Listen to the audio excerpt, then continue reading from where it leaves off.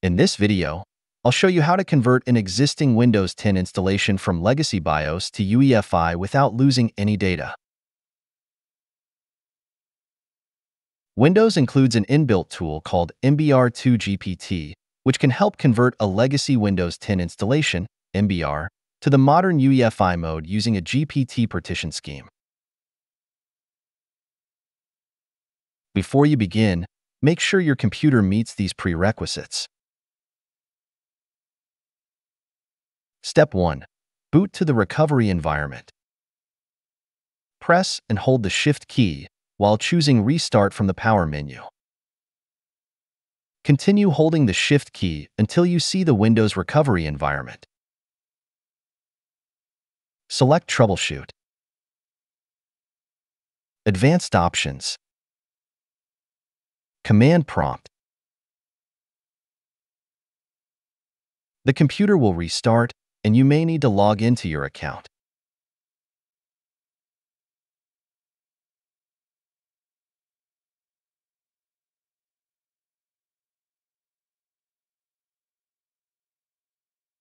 Step 2. Validate if the MBR2GPT tool can convert your disk. In the command prompt window, validate the disk using this command.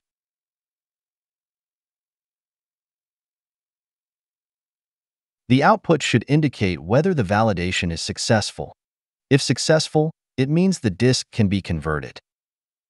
Step 3. Convert the disk.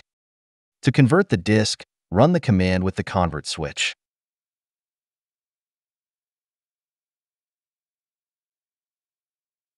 This process may take a few minutes.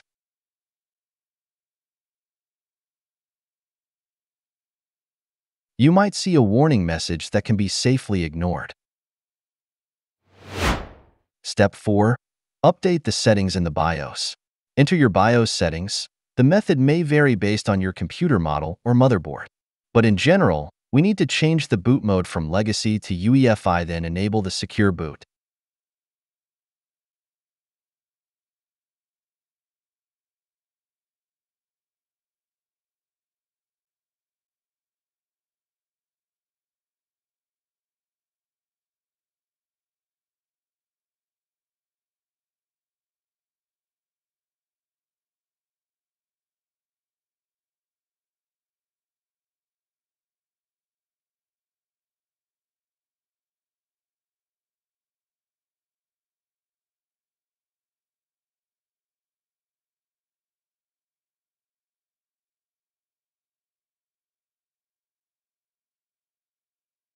The boot order would usually show Windows Boot Manager at the top.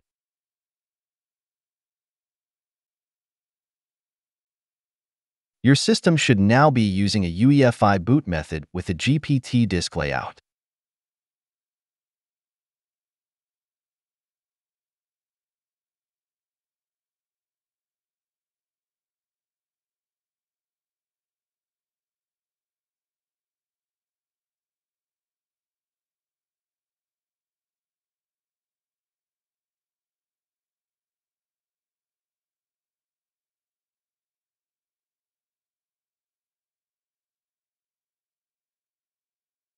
That's it. Thanks for watching. Don't forget to like and subscribe, and see you in next videos.